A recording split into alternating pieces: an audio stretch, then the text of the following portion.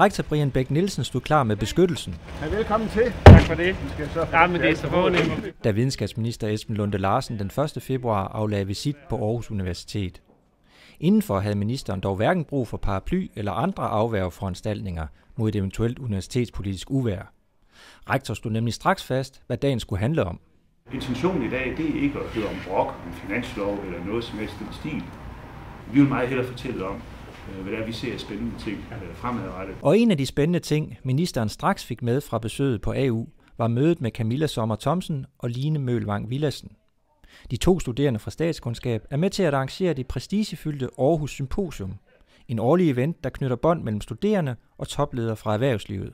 Så vi har en rigtig stor interesse for de studerende, og det er økonomistuderende, det er HA-studerende, det er også statskundskabsstuderende. Og den teologiuddannede minister, ja, han var ikke sen til at drage konklusionen over, hvorfor hverken han eller rektor nogensinde havde været indbudt som taler ved et Aarhus Symposium. Okay, vi kan jo konstatere, at vi er hverken de helt store eller de skæve, siden vi ikke har været inviteret til at tale dig og. Derefter fik ministeren en lynrundvisning på iNano, hvor helt nyt videnskabeligt udstyr blandt andet giver forskerne mulighed for at se direkte billeder af enkelte nanopartikler. På det nye instrument, der ser det tilsvaret sådan herude. Der kan nærmest decideret se de enkelte søjler af atomerne.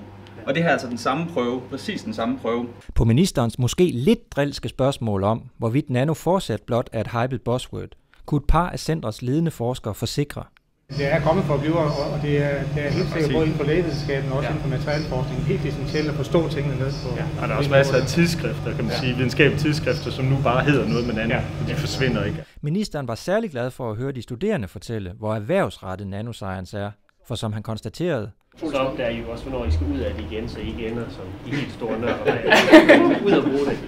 og Esben Lunde Larsen, ja, han tog også noget med fra Aarhus Universitet, han kunne bruge. Som altid er jeg imponeret over, hvad der foregår på universitetet. Både i forhold til det mindset, ledelsen har i at omsætte de udfordringer, der er i uddannelsessektoren, men jo også i praksis hos de undervisere, øh, hos de studerende, vi har mødt, og se, hvad kan man, hvad formår man, øh, og hvordan evner man at løfte. Så der er en fremtid for Aarhus Universitet? Jeg regner med, at der er en fremtid for Aarhus Universitet. Jeg er faktisk ret tryg ved, at der er en fremtid for Aarhus Universitet.